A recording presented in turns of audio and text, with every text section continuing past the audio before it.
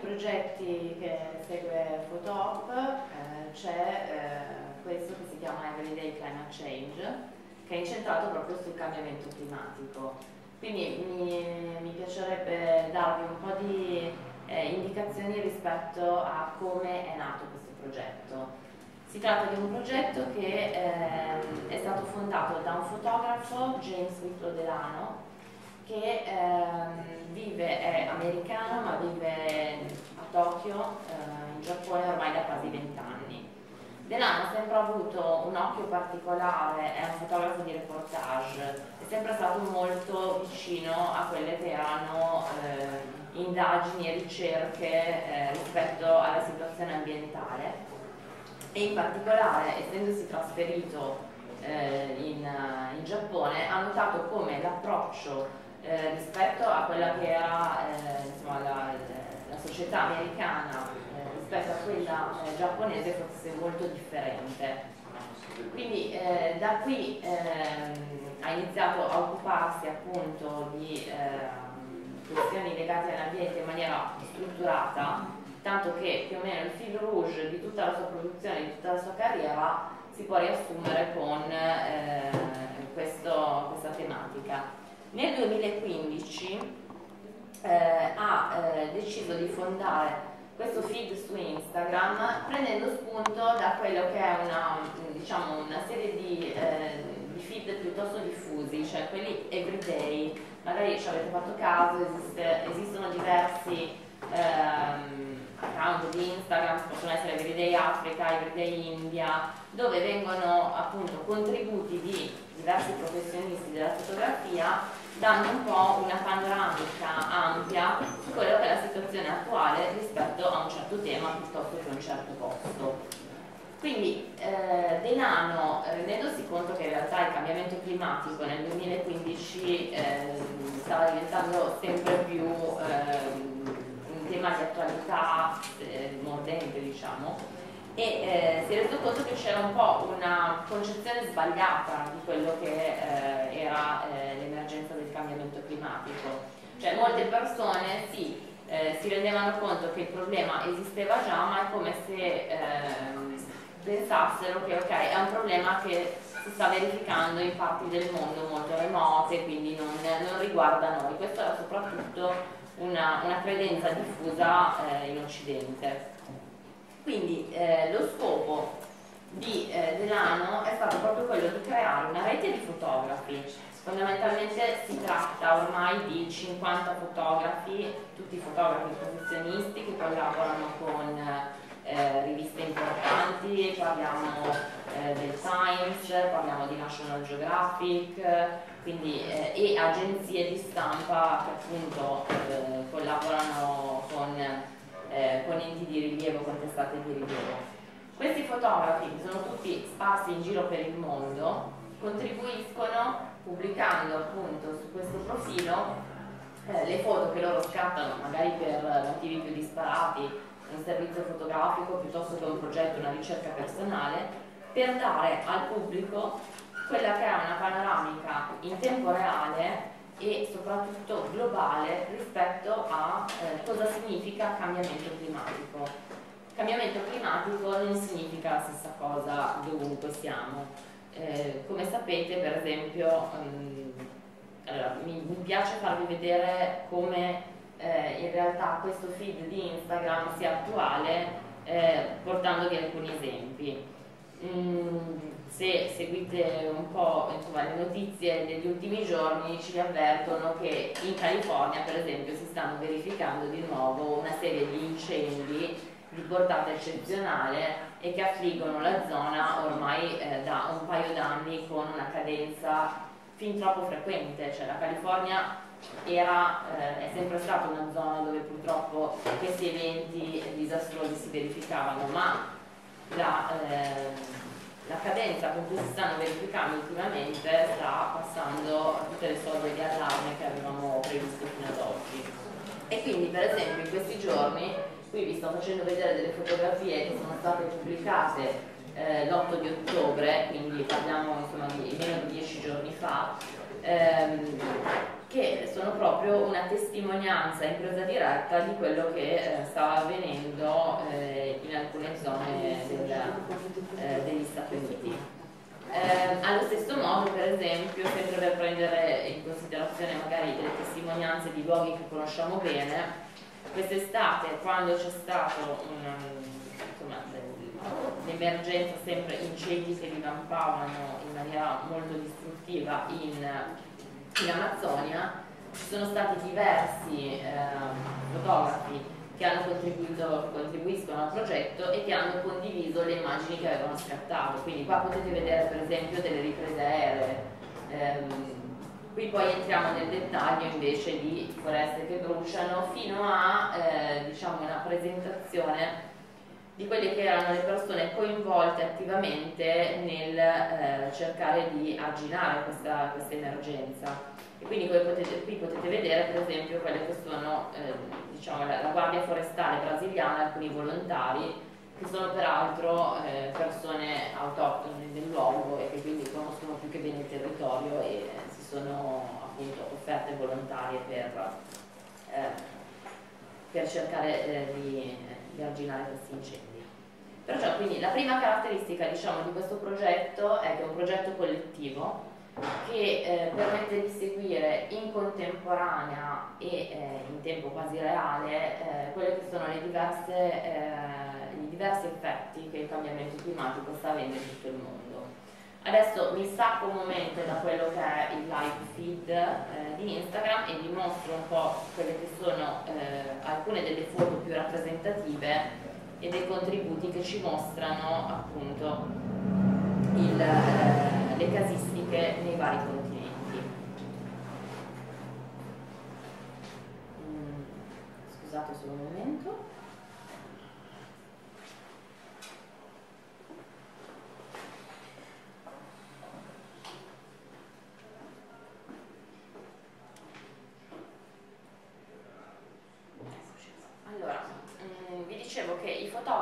contribuiscono a eh, questo progetto, ormai sono passati quattro anni dal, dalla fondazione del progetto, sono oltre 50 e ehm, sono eh, sparsi praticamente in ogni continente. Io adesso ci tenevo a farvi vedere un po' quelle che sono ehm, alcune delle situazioni più gravi, più allarmanti. Qui per esempio vediamo una fotografia di Frank Vogel eh, e ehm, questo è un affluente del Colorado. Allora, tenete presente che il Colorado è l'unico fiume al mondo che ormai non sfocia più nell'oceano. Quindi... Non è l'unico però. Ah ok, allora questa era una notizia forse troppo, troppo datata, mi dispiace, però insomma, dato allarmante, ancora peggio se non è più l'unico. In questa fotografia notiamo che, eh, qui potete vedere dove sta passando il mouse, ci sono questi segni bianchi sulla roccia questi segni bianchi sulla roccia sono quelli che eh, la popolazione di Navajo chiama i segni della vasca da bagno, perché fondamentalmente sta succedendo quello che capita quando noi togliamo il tappo alla vasca da bagno e svuotiamo. L'acqua si sta abbassando, si sta abbassando talmente tanto che vediamo appunto come la roccia che una volta era assolutamente coperta dall'acqua eh, ha una colorazione differente proprio perché ormai i livelli di acqua stanno diminuendo in maniera molto molto allarmante. Questo ovviamente eh, in parte dovuto all'innalzamento delle temperature, altro effetto assolutamente ehm, insomma, sotto gli occhi di tutti che sta eh, affliggendo quello che è il territorio degli Stati Uniti è appunto come dicevamo prima un, eh, un intensificarsi di quelli che sono gli incendi spontanei. Questa fotografia è del 2016, nel 2017 forse ricorderete, soprattutto a cavallo da dicembre, insomma eravamo nel periodo delle vacanze di Natale, c'era um, stato un, un, periodo tragico per, per, la California. Questa è la fotografia di, eh, che, di una fotografa eh, che è scandinava ma vive ormai in California da una decina d'anni. E lei proprio nella, nella zona dove abita, eh, si tratta di Santa Barbara, ha purtroppo documentato quella che è stata la distruzione di abitazioni private a macchia d'olio. Quindi qua vediamo una persona che eh, di colpo si è trovata assolutamente senza, senza nulla. Quindi insomma il cambiamento climatico, questa è una, direi una dimostrazione molto valida di come il cambiamento climatico non affligga solo zone remote del pianeta.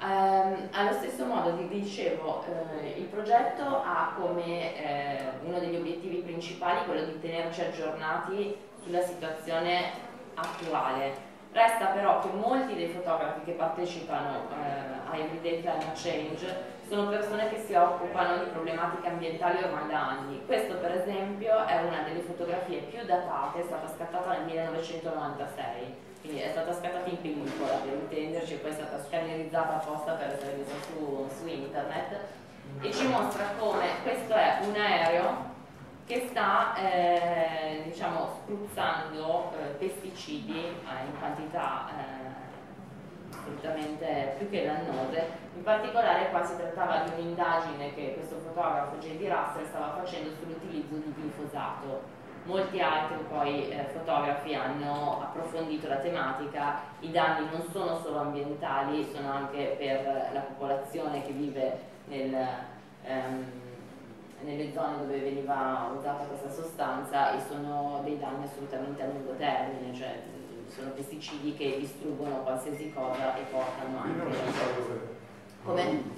In questo caso sì, si sa, era eh, una zona dell'Amazzonia, siamo in... Um, eh, siamo in America del Sud e questo in particolare nel 96 era diciamo, un'operazione che mirava a distruggere quelle che erano piantagioni eh, di, di, droga, di, di, cocaina. Il problema è che sì, distruggendo le, eh, le piantagioni in realtà non si arginava così il problema perché semplicemente chi eh, i narcotrafficanti si spostavano più all'interno, quindi ancora più in profondità nella, nella foresta amazzonica e eh, soprattutto veniva distrutta qualsiasi cosa, non solo l'obiettivo per cui eh, veniva appunto rilasciato questo, eh, questo pesticida.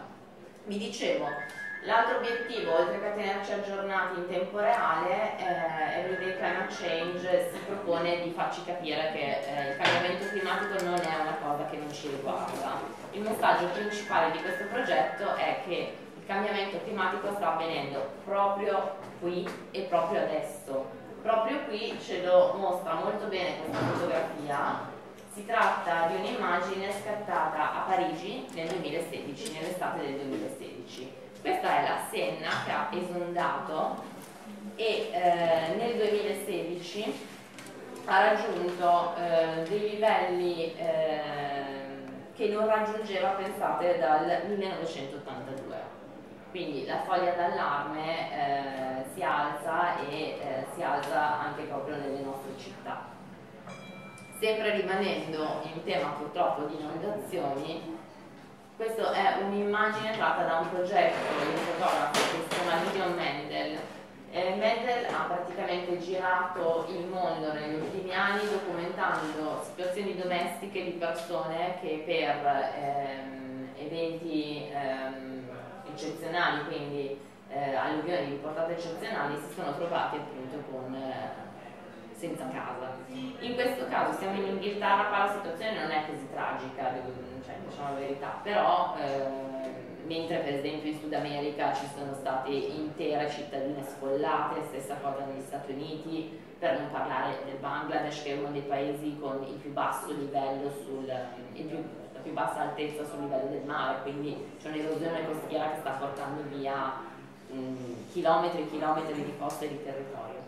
In questo caso però il dato che è veramente molto allarmante è la frequenza ancora una volta con cui si stanno verificando questi episodi. Qua siamo in una zona del, del Regno Unito dove ehm, non era assolutamente eh, impensabile sconosciuto eh, la possibilità che ci fossero delle alluvioni, il fatto che però si stiano verificando con cadenza quasi annuale è eh, un campanello d'allarme più che chiaro. Allo stesso modo eh, è un campanello d'allarme, ci troviamo ancora una volta nel Regno Unito, il fatto che per esempio qui siamo a Brighton, siamo a fine ottobre del 2017 e la gente è in costume da bagno. Il clima sta cambiando decisamente.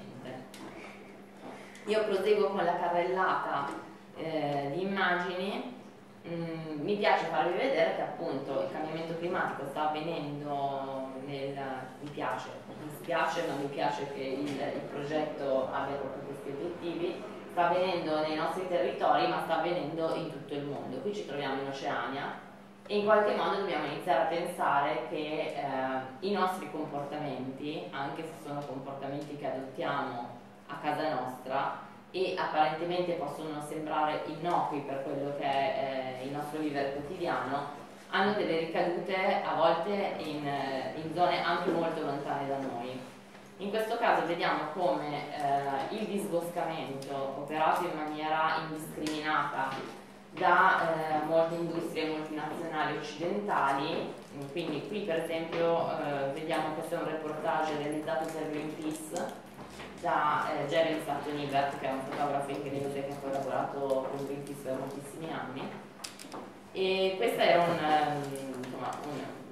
un'immagine un, abbastanza eh, iconica cioè eh, si tratta di eh, veramente quantità strepitose di legname eh, che poi vengono utilizzate come materie prime per la realizzazione di, eh, di prodotti delle, di alcune industrie occidentali.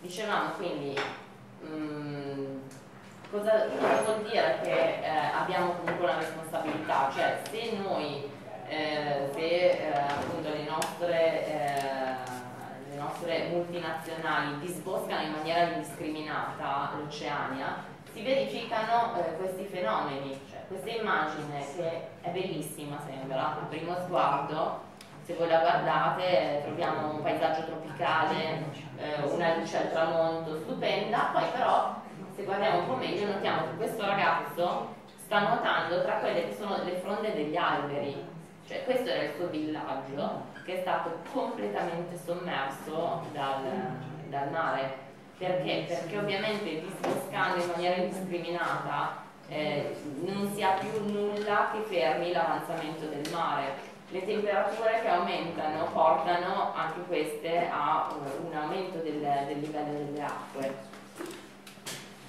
e questa problematica sta affliggendo moltissimi paesi. Eh, in Africa per esempio c'è tutta la costa che va dal Ghana, Togo, Benin, quindi parliamo dell'Africa occidentale, che sta perdendo un po' come vi dicevo prima, come nel Bangladesh, sta perdendo interi centri abitati, perché ormai la marea arriva così in profondità che eh, spesso gli abitanti di queste zone non sanno più dove retrocedere, cioè se negli anni passati un po' eh, diciamo per necessità le persone cosa facevano? Una volta che le case venivano abbattute dal, dall'avanzare dell'acqua retrocedevano, quindi ricostruivano questi villaggi man mano, cercavano di, di, essere spostati più in profondità. Siamo arrivati al punto dove non c'è più spazio, cioè non c'è più niente dietro per, per ricostruire.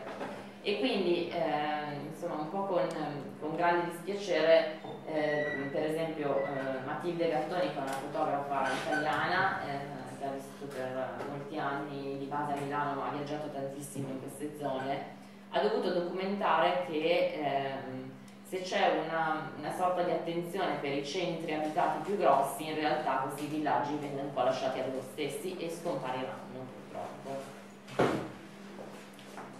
Oltre alle problematiche legate al, ehm, all'aumento del, del, livello dei mari, per esempio in Africa bisogna far fronte anche al problema opposto, la siccità. La siccità è un altro, eh, è un altro effetto catastrofico del cambiamento climatico. In questa fotografia molto significativa vediamo per esempio um, una donna che, eh, di una comunità somala che ha perso completamente il, il, suo bestiame, viveva di questo e pur spostandosi in zone che sembravano meno colpite dal, eh, dall'innalzamento delle temperature eh, non, non, è riuscita comunque a far fronte a emergenza. Torniamo invece nella, in, una, in uno scenario che forse a noi potrebbe essere più familiare, qua ci troviamo a Tokyo e ehm, questa è una fotografia che è stata scattata dal fondatore del progetto, vediamo come eh, Delano sia riuscito a catturare in, in questa immagine quello che è il fronte di un tifone. Anche in questo caso, lo ripeto, eh, è vero che in certe zone dell'Asia ehm, stagioni di monsoni, di precipitazioni particolarmente intense capitano, ma non capitano con la frequenza con cui si stanno verificando in questi giorni, in questo periodo. Per esempio, poco tempo fa, parlo di notizie di giorni fa, eh, si, è, si, è, verificato proprio un... Esatto. Quindi eh, la frequenza è assolutamente allarmante.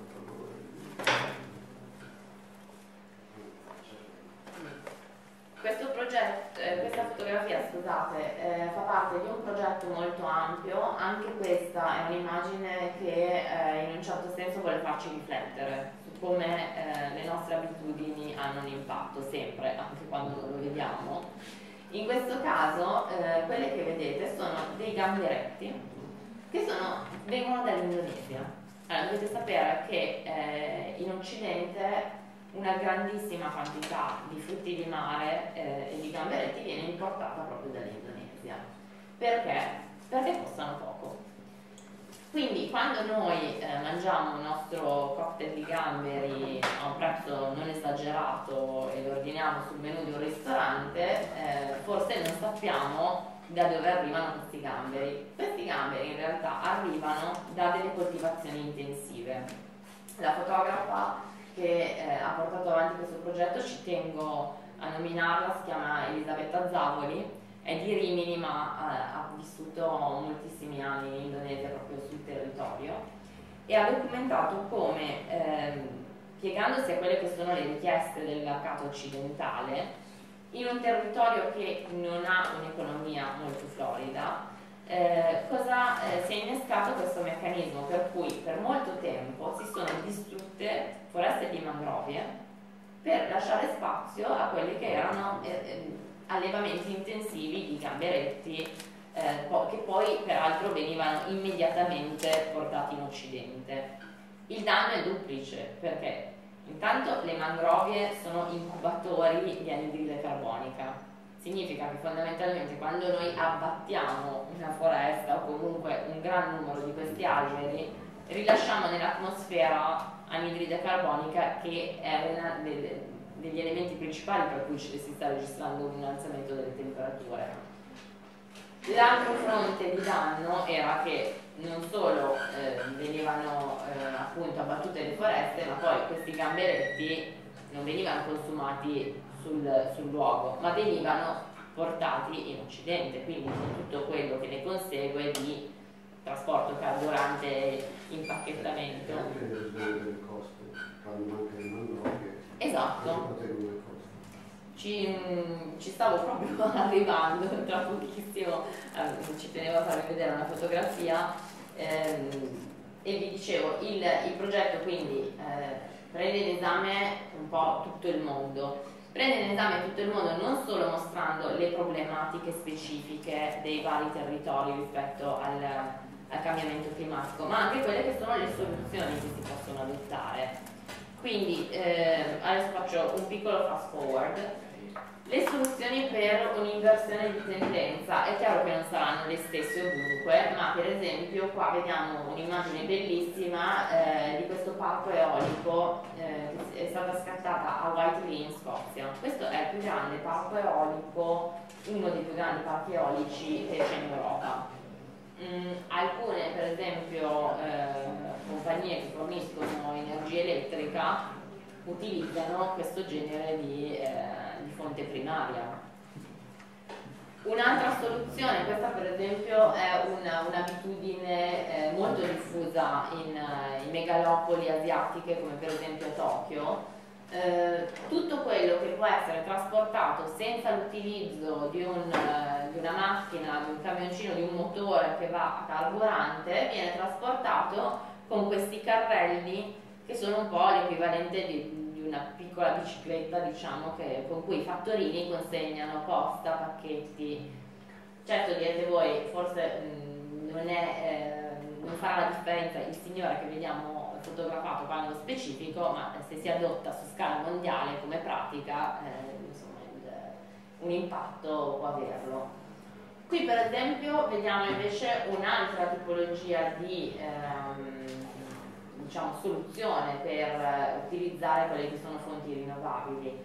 Questa fotografia è stata scattata a Auroville, che era, è tuttora una comunità che è stata fondata nel, negli anni 60 in India, eh, una comunità di, eh, che si dedica appunto all'arte, al, al, rispetto ambientale e in particolare tutto, eh, tutta Auroville eh, utilizza fonti di energia rinnovabili, questo nel eh, 2001 quando è stata scattata l'immagine era il piatto solare più eh, efficiente eh, che era mai stato costruito.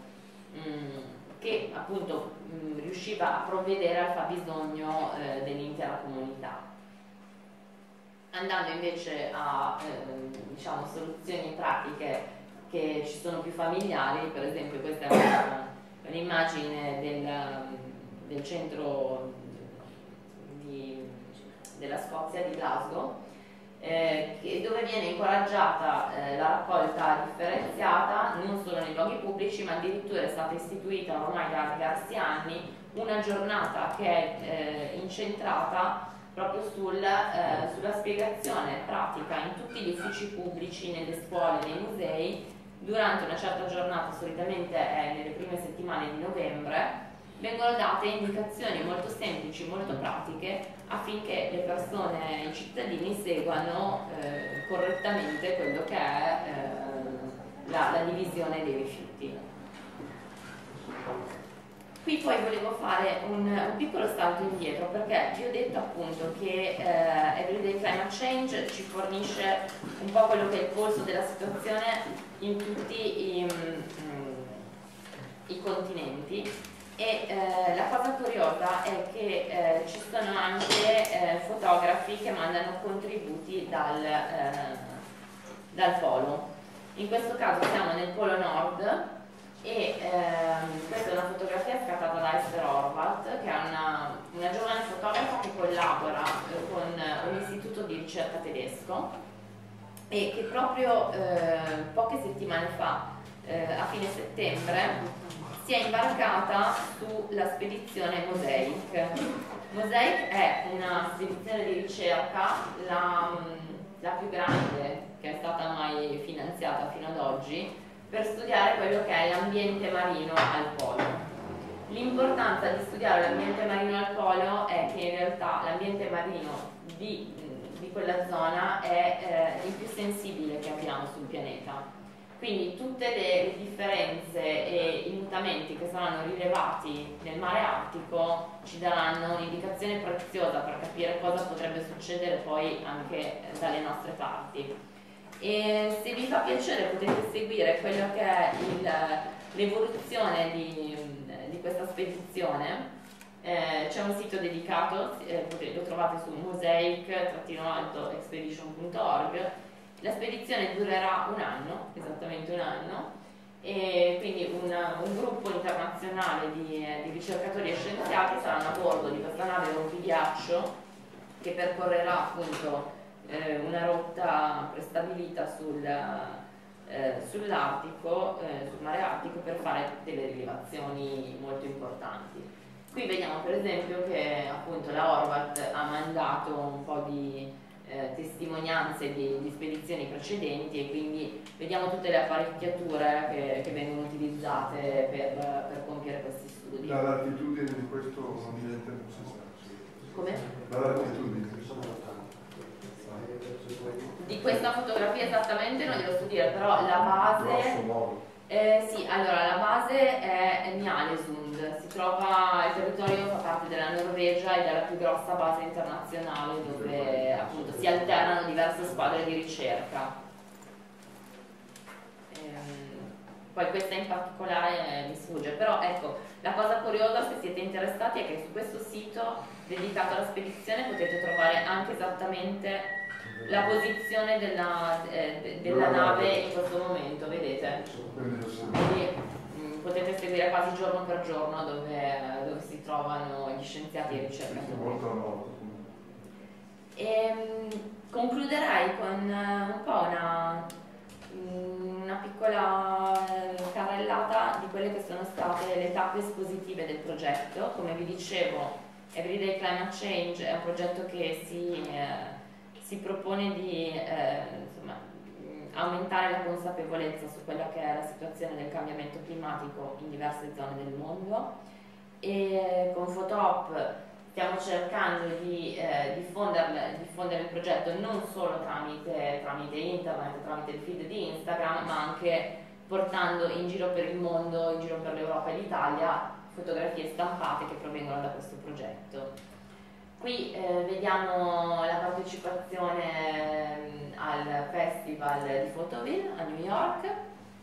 Qui invece sono alcune delle fotografie che sono state esposte sempre all'interno di un festival di fotografia a Bangkok. In questo caso siamo a un altro festival di fotografia eh, a Valencia, in, in Spagna. Di nuovo in Spagna, come vedete poi le, le location sono differenti, è differente anche il pubblico che, che viene a visitare queste mostre. La speranza però è che sia il più ampio possibile, chiaramente. In questo caso, per esempio, è stata un po' un'operazione a spot, quasi a sorpresa, sono state stampate le fotografie su, su dei materiali vinilici, quindi che resistono all'acqua e eh, ad agosto del 2017, eh, scusate, del 2018 sono state esposte sul lungomare di Cascais in Portogallo. Quindi le persone, insomma, passeggiando un po' per, eh, o tornando a casa dalla spiaggia, potevano vedere, forse buttavano l'occhio sul queste immagini piuttosto esemplificative. Comunque si cerca di attirare l'attenzione un po' con, eh, con, diverse modalità. In questo caso vedete invece la prima tappa italiana della mostra che è stata a Verona, al Museo Civico di Storia Naturale. Qui è in Toscana, quest'estate abbiamo esposto sempre una settantina di immagini dal progetto a Orbetello, in Maremma, e infine ci sono appunto le immagini della, della mostra serale. Io vi invito a seguire Everyday Climate Change sul, sull'account di Instagram, se invece voleste sapere dove si terrà la prossima esposizione di questo progetto potete seguire PhotoOp oppure dare un'occhiata al nostro sito. Vi ringrazio molto.